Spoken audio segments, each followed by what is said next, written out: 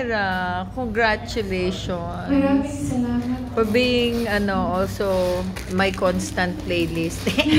Thank you po. Salamat. And uh, siguro this is going to be one of the biggest also for your fans to ano to watch out for. Will you be preparing a different kind of ano uh, playlist na hindi nila inaasahan o you will also um ang dagdag pauunlakan mo yung kanilang mga request Siyempre po, ulangan po natin yung requests nila. But um, gusto ko rin po mag-introduce ng bagong song. Kasi mga in-introduce ko nung Braver concert. Um, napaka-fresh po kasi nun sa puso ko kasi recently lang namin sila sinulat. And so, um, bilang ang universe um, is mounted by my kuyas and um, they're so, it's so personal to me. I want to share personal songs as well. Are you also ano um, liking all the other bands who will be featured there? Katulad ng kasi syempre yung tingin namin sa you're Moira, the Moira sound. Iba yung tunog ng mga ano banded na kasama diyan eh. May mga rock-rockan diyan, di ba? Actually, mag-rock po ako sa Ay? Naka-full band. Hindi, um, na, na, sobrang excited ko po at sobrang natutuwa po kasi um, bago man or hindi, lahat magkakasama sa isang malaking music festival. And this is such a great thing because nung ako po nagsisimula po ako, hindi naman po ako nabigyan ng malaking music festival. But it just really shows the hearts of um, Sam Melby and John Kratz because it really shows na naniniwala talaga sila sa talent na hindi yan sa kasikatan or ano, kung, kung may talent ka, we will invest in you and we will give you a stage. Kasi nung ako po, nung nagsimula po ako, grandparents day lang naman po yun ako ako, tapos tulog pa yung mga lola nanonood sa akin, nakiupo lang. so um, it's very, it's, it's such a, it's such a great thing to witness and to be a part of. Pero nag-try ka rin mag-rock. As in rock. Um, nag-try po ako sa isang gig ko with uh, December Avenue. Ginawa po namin rock yung, um, yung Malaya. Mm. So, okay naman. Kung Kiko. Ito ba yung una na music festival? Nag-coke. Ay, hindi pala natuloy yung coke, no? Si, oo. yung coke namin, hindi natuloy. naging ano yung coke namin, stampede. Layo. um, ito ba yung, parang hindi po. Nag- Nag-music festival ako before sa MOA Arena with, um, what's that brand? Um, basta kasama ko po dun sila I Belong to the Zoo, December Avenue. But this is, I think, my first Hindi, med- medyo marami na, pero matagal. Since, ano, I think this is the first one in a long, long time. Yes, guys. Mami Jo. Meron bang particular band kang kilala o naging friends na kasama dito? Opo, ang ang Sunta po, actually, mga kaklase ko po yung college. Yes, kaklase po namin ni Jason. Wow. Barkada po namin yan. Kami po yung laging late. Tapos, um, hindi po namin gusto ko po bumalik. Gusto, gusto ko lang gusto bumalik. Pero, nung time po na hindi ko na po kasi afford tapusin yung college. Um, and so, I had to drop out and work. And um, I think it was the same for Jai. But then, um, we learned so much. Yung buong banda po na yan, nag- nagtapos po yan. And then, um, ang Autotelic naman po, kasama ko po sila sa Elements Songwriting Camp um, under Maestro Ryan Kayabia. So this was in 2013, I think, or 2014. So marami po dyan kaibigan ko. Mm. Nung Saturday, nag-jam sila ng ano, pagsunta Yes. sa concert. Napakasaya. Well, congratulations. That's a sold out yung, yung concert po sa Arena. Thank you. Salamat po. And, uh, my question is, uh, kamusta pa rin katrabaho si John Prats? Knowing na John Prats, siya yung pinakauna nag na nagtiwala sa iyo to really short music video ng Malaya, nagtiwaan, and sobrang big yun na. And ngayon, siya nam, ikaw naman yung susuporta sa kanya dito sa, sa biggest event and first ever na music festival na susugalan dyan. So, paano yung nagiging usapan nyo? Paano pa? Ito ba pagbibigay mo ng, ng ano tawag dito? Utang na loob or tulong sa kanya bilang kaibigan at director? Um, hindi ko po kasi siya makita as utang ng loob kasi feeling ko part talaga ako ng universe, ng Bright Bulb. Um, hindi ko po siya makita as favor, but it's really as a duty as a, as a sister, as a, as a fan, as, as family of Kuya Brati and Kuya Sam. So, feeling ko kailangan ko talaga to be here because not just because I need to because ang dami nilang nagawa for me but because I really really want to. Um, and how it was to work with Kuya Brati um, for Braver concert napakakalma ko po. Kasi iba yung director na alam niya yung gagawin niya sa buong stage kung anong gusto niya, kung anong yung vision niya, kung anong gusto niyang mangyari. Pero iba din yung director na alam lahat ng yun, pero alam din yung puso ng artist. And so, hindi ko po um, hindi po ako nag baka nag, nag, ano, nag-alinlangan. Hindi ako nag-alinlangan na na i-trust, ibigay kay Kuya Brad yung buong trust ko kasi napakagaling po niyang artist, director, kaya napapagsabay niya yun, kaya tahig-tahig po yung, um, yung Braver. And And so you can expect the same for Universe. Kasi um, nakita niyo naman po lahat ng yung success niya as a director from kay Brosas to me to Richard Poon and Eric Santos. Napakagaling po niya. So we can only expect, you know, him to give it, to give us an amazing show. Uh, well, uh, you will be probably one of the biggest or the highlights of the events din sa universe kasi ikaw yung pinakamalaking artist no? Ah, ano yung ano yung mapapayo mo doon sa mga sa mga kasama sa Universe Music Festival na hindi pa ganun nakilala, na gumagawa pa ng nangyay uh, para maabot din yung, kung nasaan ka. You are on a great path. Actually, may kausap po kanina. Um, and this is something I want all artists to know, whether they're in universe or not.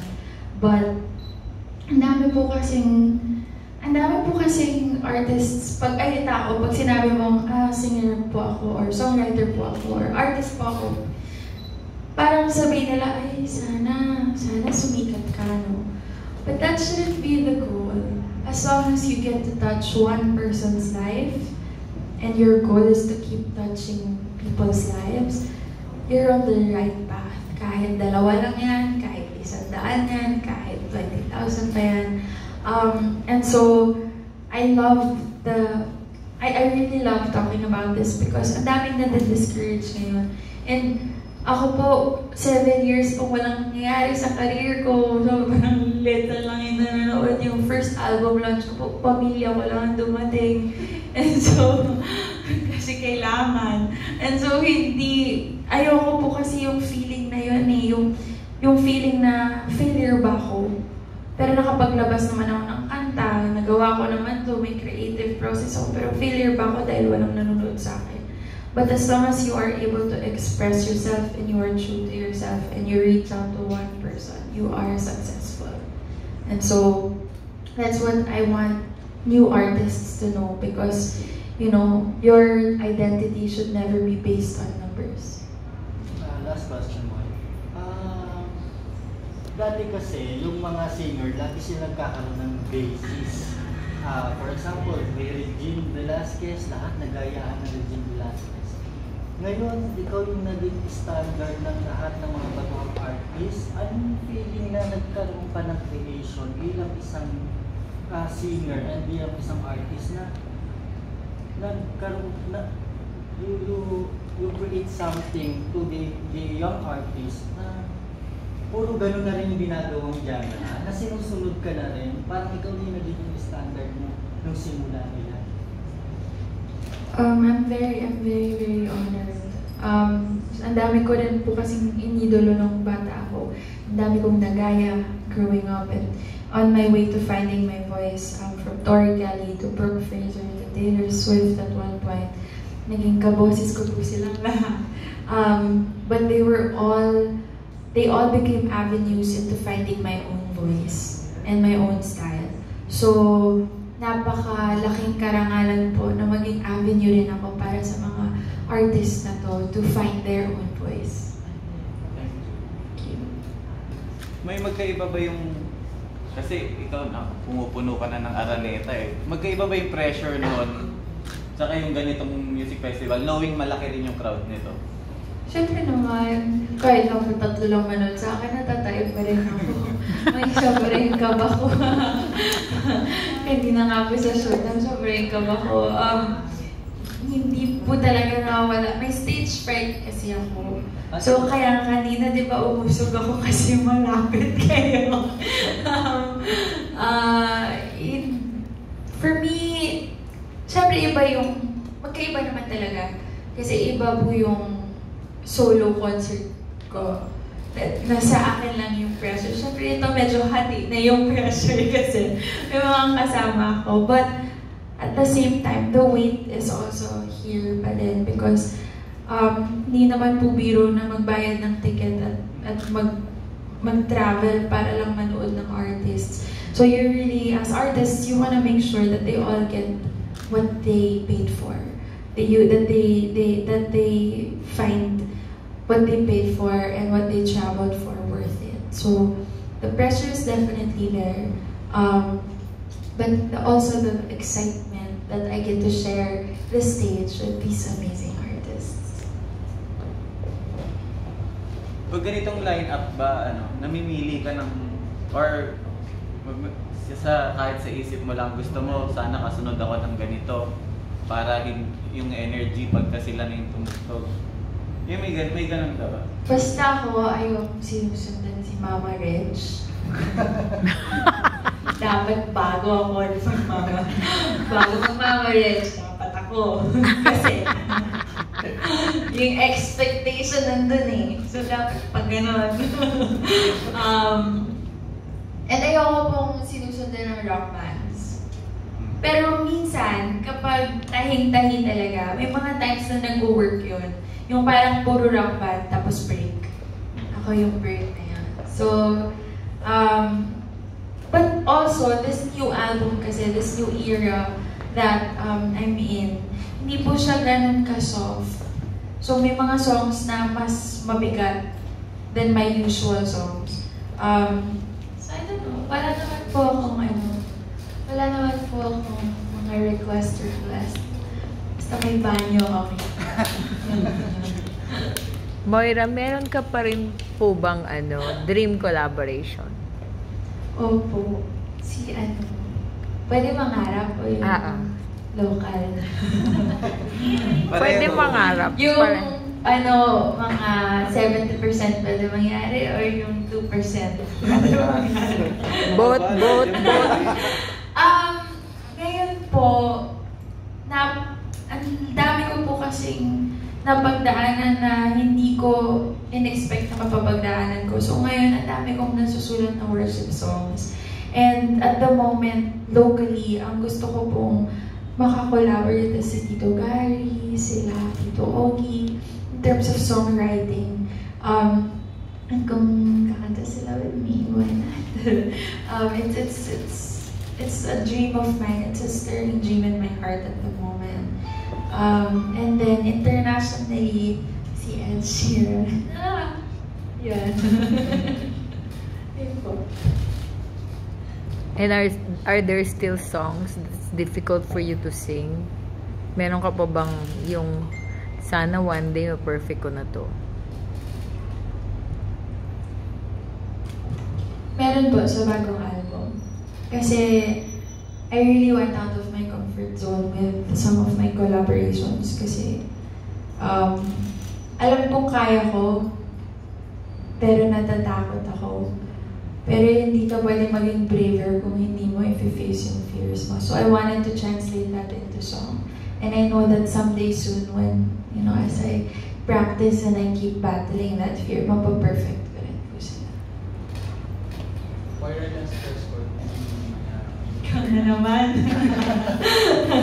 Pumayat ka. Nagda-diet last- siya. Last pag sinabi mo na yung international album mo patapos. So can you just give us an update? Like, sino mga nakatrabaho dito? Ilang songs kailan siya ilalabas? The international album will be out um, at the end of the year, I think, or first quarter next year. Kasi ang daming biglang nangyari this year na yung dapat end of, dapat near na eh. Um, but ang dami rin pumasok na bagong collaborations. I'm gonna be collaborating with us, the duo.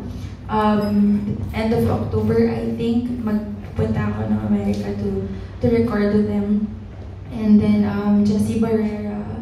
And uh, ang dami ko pong gusto pang tapusin. Kasi bilang pinakauna ko siyang international album, kasi sold out talaga ako. So um, we're really gonna make sure that we work hard for it. Um, yung mga na-record na namin though, um, naka-record na ako DJ Flit. He's a Grammy Award-winning producer as well as um, he's written songs for Megan Trainor and um, Common Kings. And then si uh, si uh, oh my gosh, si Harv and si Felicia sila yung nagsulat ng ano um, What do you mean? Ni Justin Bieber.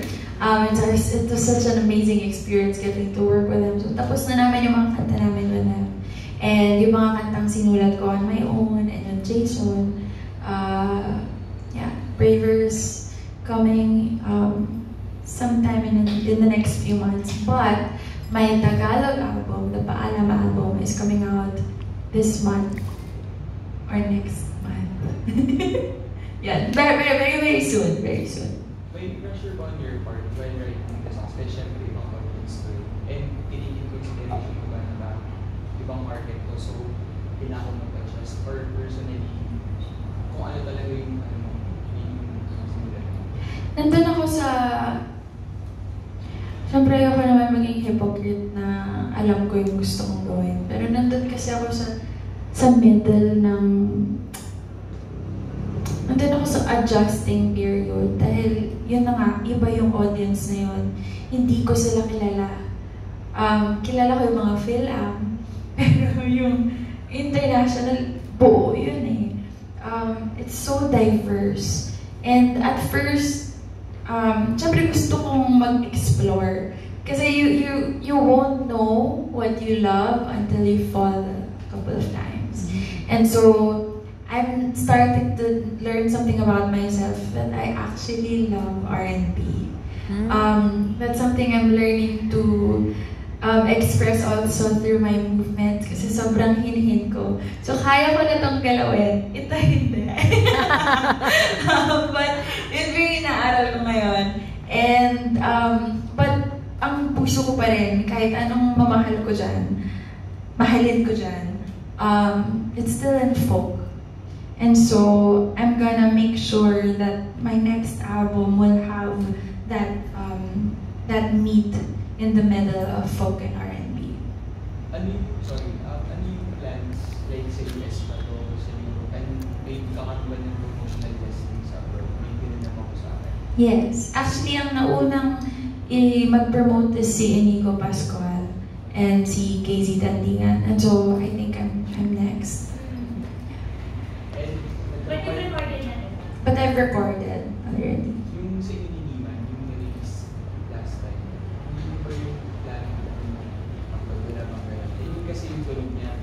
Yeah. ano siya, ng Actually, gusto ko talaga, gusto ko talaga siya i-absorb na lang din dun sa album ko kahit two songs.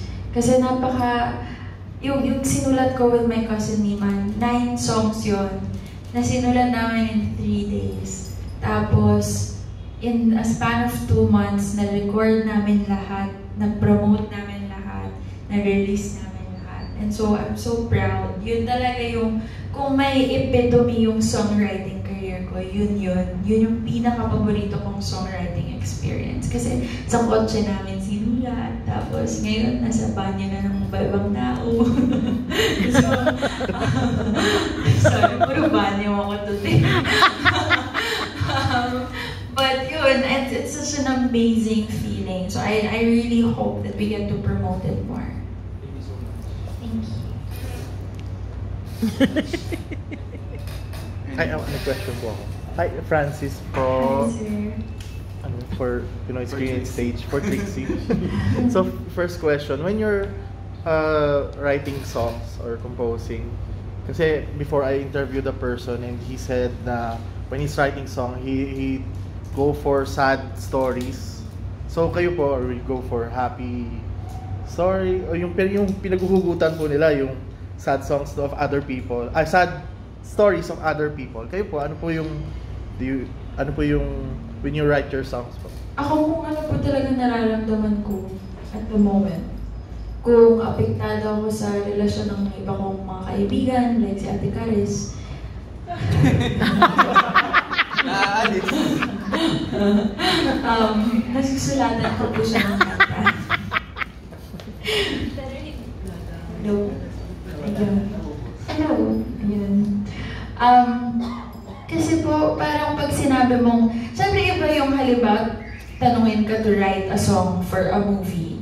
Kung malungkot yung movie, malamang sad story talaga malalabas mo doon. Pero yung on a normal basis, ang susulatin ko po, yung nararamdaman ko talaga.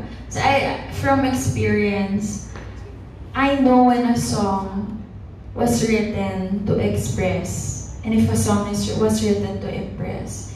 And I don't want ever for anyone to be able to hear one of my songs and say, wait, she's trying to impress someone. So as much as possible, I wanted to be as authentic and as real as it, I can make it. Next question. Speaking of ano feelings and emotions, ah trending daw po kasi na yun yung ah, si Vice, yung ano to, si Vice Ganda and Ayon, yung Yes. ah, ano to, um, emotional na pag sabi nila ng I love you. Kayo po ba na, na, naka, nag- na-experience na po ba yung umiiyak kayo na nagsabi ng I love you sa partner po ninyo? Oo naman, oo naman. Actually, recently, um, kasi naging normal na sa akin yun eh. Saan naman kausap mo, Ate Karis? um, uh, na, sobra po kasi yung pagod na naranasan namin the past few months. Kasi from Idol, straight to ASAP Bay Area, straight to recording in LA, straight to preparing for the concert, and then promos, and then concert. So medyo ngayon-ngayon lang po kami nakapag pahinga ng konti. Um, and dur pag pagod naman yung emotions talaga na tumataas eh. And um, yung depressive mode ko po, natitrigger siya sa pag nasa stress ako. And one time po, sobrang lungkot ko lang. Tapos, yung asawa ko, dinignan niya ako, sabi niya, I love you. Tapos iyak ko ng iyak. Kasi, doon mo makikita na choice niya yun eh. Kasi monster po talaga ako. hindi po ako yung, ano, hindi po ako, alam mo, hindi naman ako sumisigaw-sigaw, pero hindi ako calm and collected and I'm not always the wife I want to be. And so, in days na hindi ako yung, ano, tapos nag-I love you siya, alam ko eh, thank you. I love you too, gano'n. Thank you po. Guys, sorry, i-interrupt ko lang ng konti. Si Direk Prati. Hi, Direk. Direk, hindi din sila lahat. Hi, Malamig ka. Direk. Iniwan mo ako dito. Saan ba ito? Tinatapat na Dito. ako. Sa baba. Um, Sige, Prati, salita ka lang. Hi, Di Hi, Direk. Oh. Kuya Brati, magpo-perform ka daw sa universe. yun, thank you, thank you very much for coming. Um, first mo, ay congratulations sa Brainer. At ito, magsisimula na kami for Universe again. And um, ayun, hindi ako napayagan. Napapunta na ako today. Hi, Moy. And um, ayun, we hope to see you there and spread the word. Um, five days. Five days na lang ba? O oh. Saturday na. Magkwento ko konti anong expect nila kahit na line na kahit nakita nila yung mga lineup ng artist. Ano na-expect nila? From what time until what time? Ganon. Um, open po kami ng, gate open ng 11. So mag-start na kami ng 1 p.m. dire-diretso na siya. And kanina kasi may narinig akong question na syempre raklakan, na si Moise there. Um, that's the whole objective of Universe. Yung, yung maging united lahat ng genres. At the same time, to inspire these kids na syempre hindi lang sila nandiyan enjoy or to party. But you know, na pag alis sila sa universe, meron sila sa sarili nila na the positivity that they can spread paglabas sila ng universe festival. Okay, invite na lang last invite. Ayun, see you there. Um, five days to go, universe ako. Medyo pinakabahan na ako. Ito na yata yung pinakamatagal kong i-direct. Simula 1 hanggang 3 a.m. 1 a.m. to 3 p- 3 a.m. Sim- Simula 1 p.m. hanggang 3 a.m. So, nagpalagay ako ng sarili kong portalet. So, malamang nandun lang ako sa, sa, sa booth ko. And uh, kung gusto niyo ako makita, nandun lang ako. The whole day. Okay, thank you, Brati. Babalik ka na sa scene, sa Thank you guys. Thank you, bro. Yan, Bye, thank Moy. you. Thank you, Bye, thank you, you. Ano yung may may may question ba kay Brati? Brati, may magtatanong. Meron. Teka, makuha ko silya ko. Sige, Mami Jo. Kasama pala ako sa press. Direct, Brati. Direct, yung pong ano, yung pong beneficiary ng universe, would you like to tell us paano nyo po Brati, nakuha yung yung face mo na lost? yung ano, yung beneficiary na. Ah, sige, sige, go. Yung beneficiary ng universe po, paano po ninyo na, coord, na nakuha? Ayan. Paano mo, pa- paano daw kayo nag-come about dun sa beneficiaries ng universe?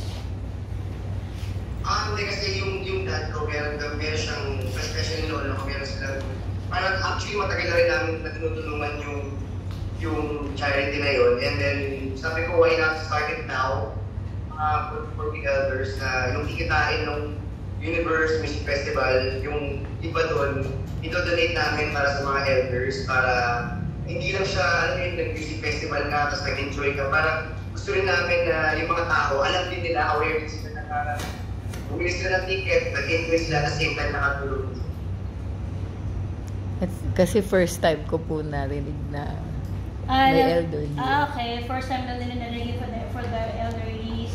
Prati, may nagtatanong kanina. For the elderlies? Oo.